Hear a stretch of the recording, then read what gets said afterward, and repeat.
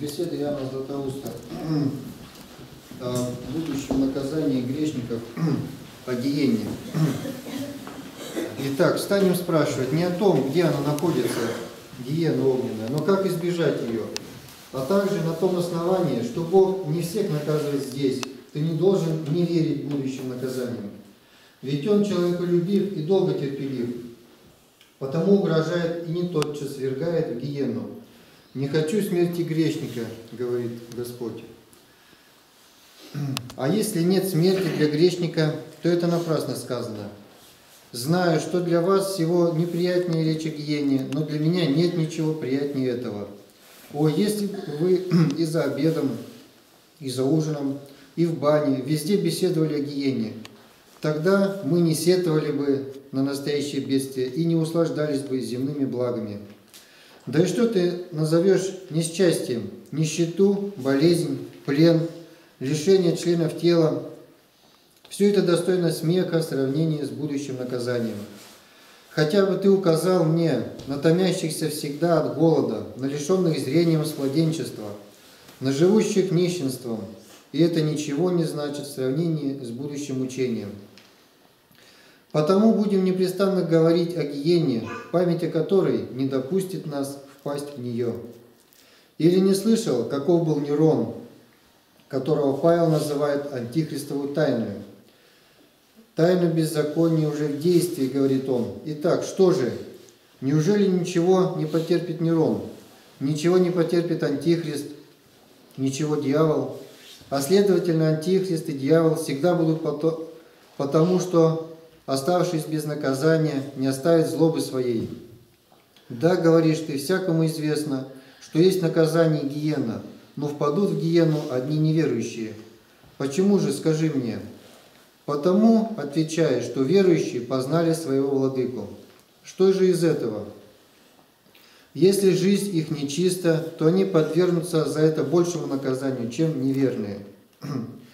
Те, которые, не имея закона, согрешили вне закона, и вне закона и погибнут.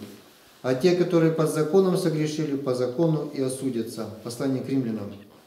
И еще, раб, знавший волю господина своего, не сделавший, бит будет много. Евангелие от Луки. Но если это сказано без цели, и нам не придется отдавать отчет в жизни, то дьявол не будет наказан, потому что он знает Бога лучше многих из людей. И все бесы знают Бога, трепещут Его и признают судьею. Значит, если не потребуется от нас отчета в жизни и в злых делах, то и бесы избегнут наказания. Нет, это не так. Не обманывайте сами себя, возлюбленные. Если нет гиены, то как же апостолы будут судить 12 колен Израилевых? Как же Павел говорит, разве не знаете, что мы будем судить ангелов, не тем ли более дела житейские? Для чего же Христос сказал, жители Ниневии восстанут на суд и осудят род сей? И еще, земле Содомской отрадней будет день суда. Итак, зачем ты шутишь тем, чем шутить не должно? Зачем ты обманываешь себя самого и водишь в заблуждение душу свою? Зачем борешься против Божьего человеколюбия? Бог уготовил гиену и угрожает ею для того именно, чтобы мы, сделавшись от страха лучше, не впали в нее. Таким образом, кто не позволяет говорить о гиене, тот незаметно делает нечто иное, как этим обманом толкает и ввергает другого в гиену. Не ослабляй же рук, подвязающихся в добродетели. Не усиливай нерадение в людях, погруженных в сон. Если бы большинство людей поверили, что нет гиены, то когда они отстанут от порока? Где же явится правда? Не говорю о правде в отношении к грешникам и праведникам, но в отношении к грешникам и грешникам. Почему один наказан здесь, а другой не наказан за одни и те же грехи, или и гораздо более тяжкие? Если нет гиены, то в состоянии будешь отвечать на такое возражение.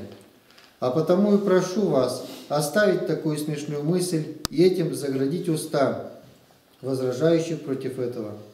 В самых малых делах, как худых, так и добрых, будет строгое испытание – и за нескромный взгляд мы подвергнемся наказанию, дадим отсчет за праздное слово, за смех и злоречие, за помысл и пьянство, а равно и в добрых делах, за чашу студеной воды, за ласковое слово, за один вздох получим награду.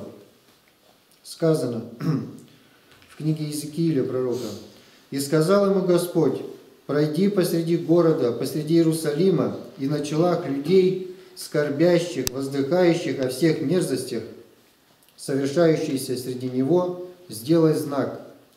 Как же ты смеешь говорить, что Бог с такой строгостью испытующий нашу жизнь, напрасно и без причины угрожает, угрожает гиенную? Прошу тебя, не губи такими суетными надеждами себя самого, и тех, которые верят тебе. Если ты не веришь нашим словам, спроси иудеев, еленов, всех еретиков, и все они как бы одними устами ответят, что будет суд и воздаяние. Но тебе недостаточно человеческого свидетельства. Тогда спроси самих бесов и услышишь, как они вопиют. Зачем пришел ты прежде времени мучить нас? Евангелие от Матфея.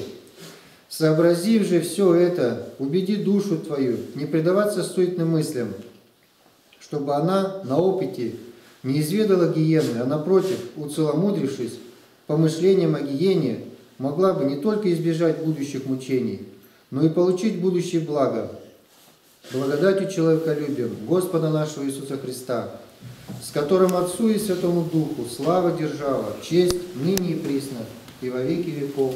Аминь. Боже, будь милостив ко мне грешному. Создав меня, Господи, помилуй меня. Я согрешил, Господи, прости меня грешного и помилуй. С Христовым.